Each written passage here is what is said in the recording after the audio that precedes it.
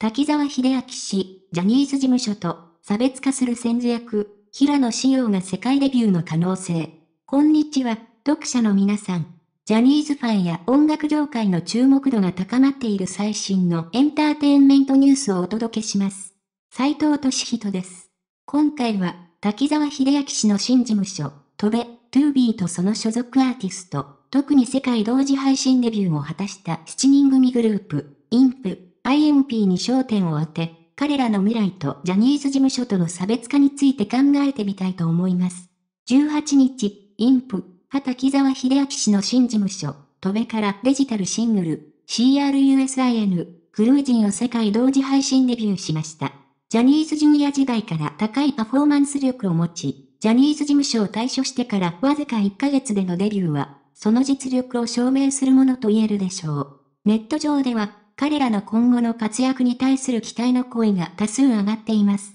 トベ、合流1ヶ月で世界デビュー。インプ、ハジャニーズジュニア時代、インパクトワーズとして活動していました。2023年5月25日、7人全員がジャニーズ事務所を退所し、同年7月14日に滝沢市の渡米合流しました。新天地に移ってからわずか1ヶ月で、彼らは世界同時配信デビューを果たしました。ジャニーズ時代から息の合ったハイレベルなダンスが持ち味で、その実力を存分に発揮しています。これにより、滝沢秀明氏の新たなプロデュースが始まり、ネット上でも注目が高まっています。しかし、滝沢氏のジャニーズ時代におけるプロデュースには、ある心残りがあったという声も聞かれます。2020年に Snow Man、SixTONES、そして2022年には Travis Japan のプロデュースを手掛け、彼らをデビューさせました。特に Travis Japan は、配信デビューというジャニーズ史上初の偉業を成し遂げ、話題になりました。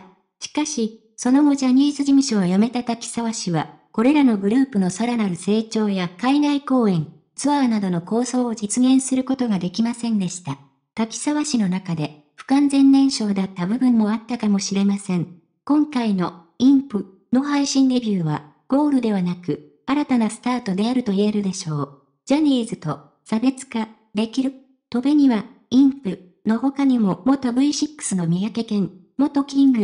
Prince の平野紫耀、神宮寺勇太などが合流しています。これにより、一つのジャニーズ事務所から独立した新しいエンターテイメントプラットフォームが誕生したと言えるでしょう。これまでジャニーズ事務所は多くの人気グループを CD デビューさせ、その成功を築いてきました。しかし、今後は、 TOBE が配信に力を入れていく方針を示しており、ジャニーズ事務所にはない新たな魅力を打ち出せる可能性があります。滝沢氏が手掛けるアーティストたちは、お互いに刺激を受けながら成長していくことが期待されています。この差別化が新しいエンターテインメントのスタンダードを築く一助となるかもしれません。平野紫耀のソロ曲にも期待。 IMP. が世界進出の第一歩を踏み出しましたが、今後も注目がかかるのは、元 King &